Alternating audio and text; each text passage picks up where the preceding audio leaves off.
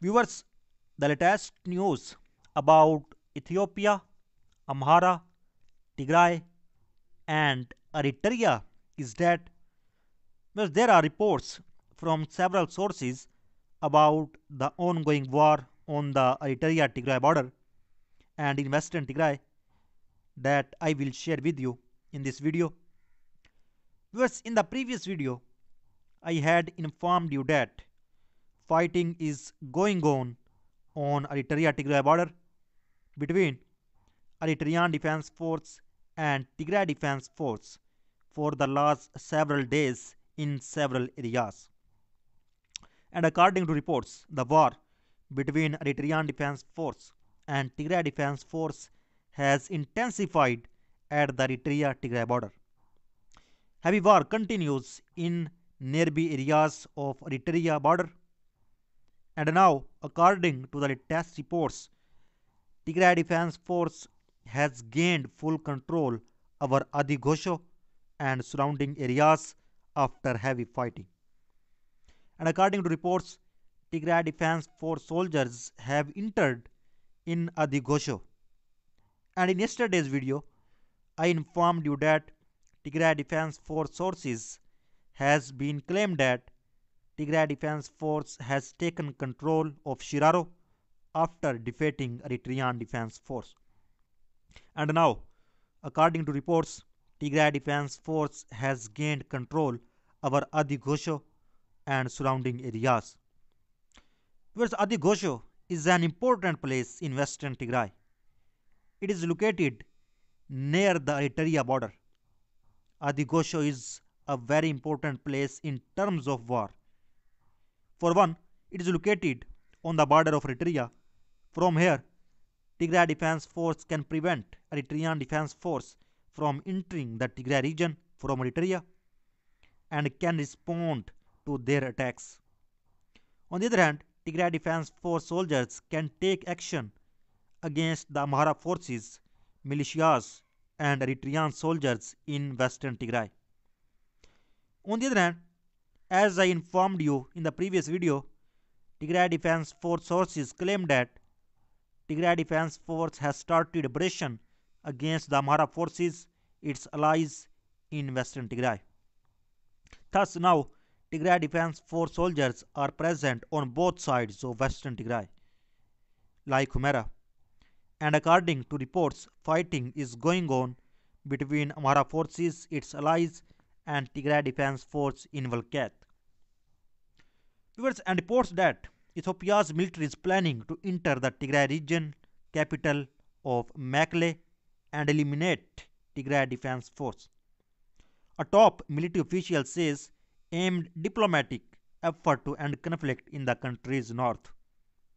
The Horn of Africa country has been gripped by war for more than a year, with the federal military and its allies battling forces loyal to the Tigray People's Liberation Front.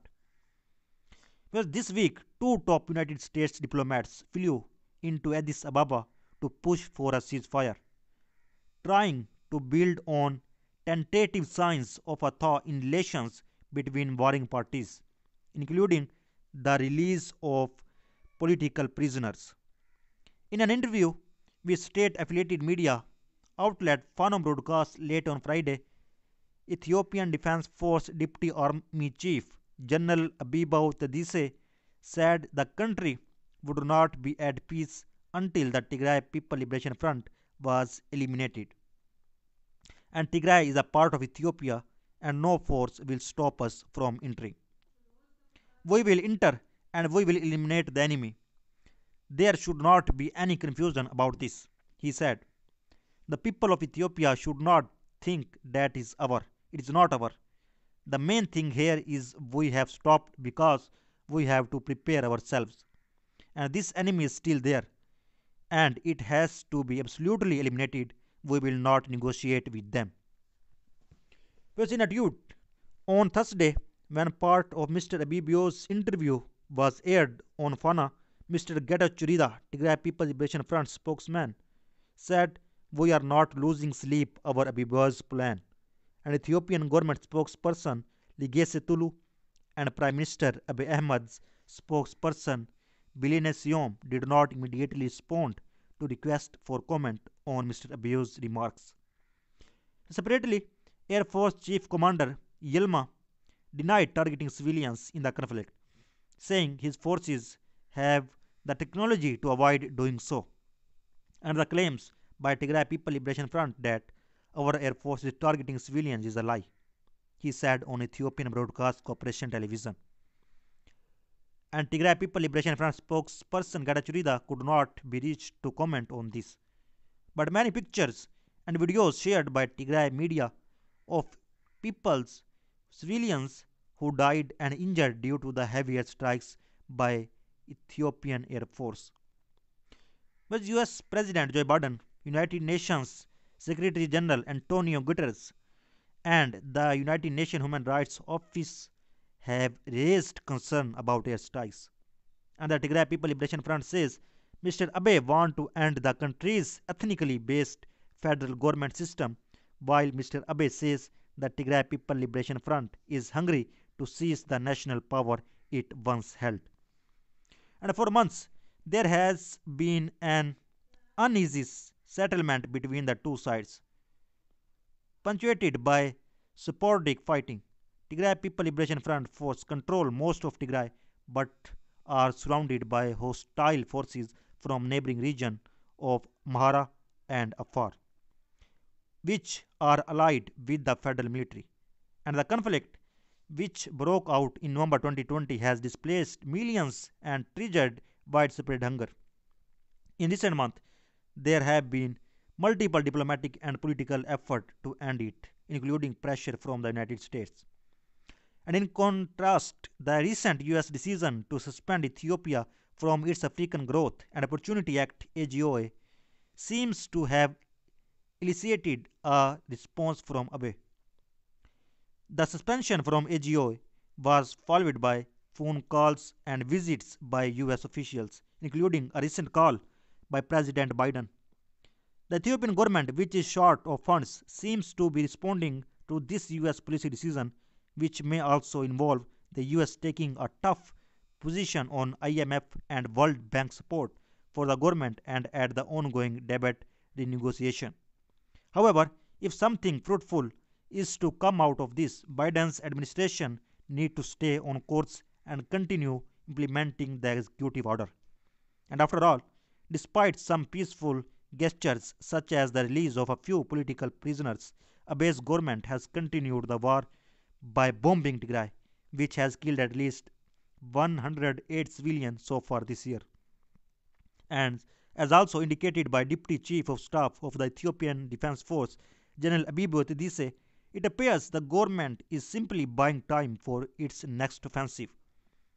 Now is the time to silence Ethiopia's guns by Mr. Siu given these risks.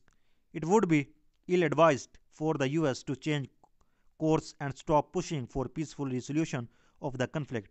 But the way this is executed has to be fair and practical.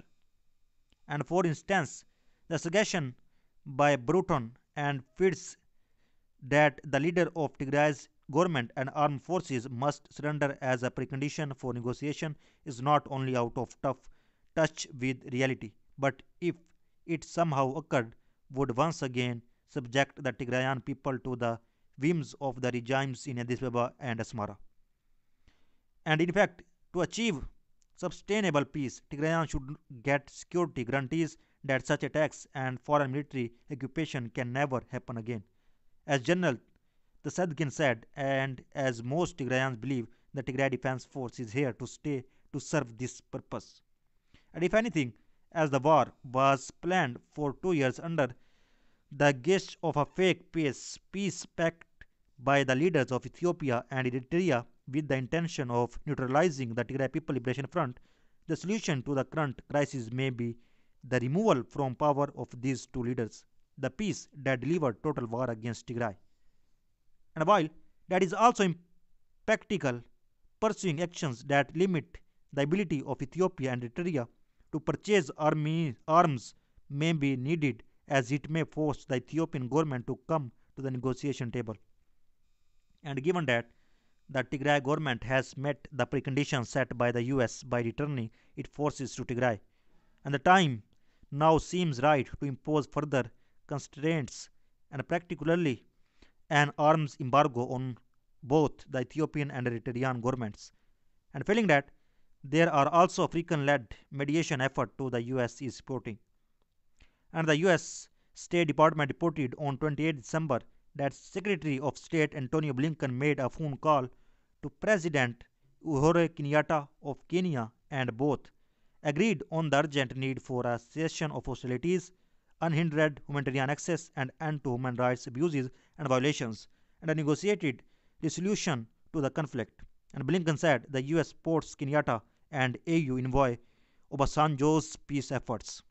So viewers, so far the latest update. For more latest update, please subscribe channel. Thanks for watching.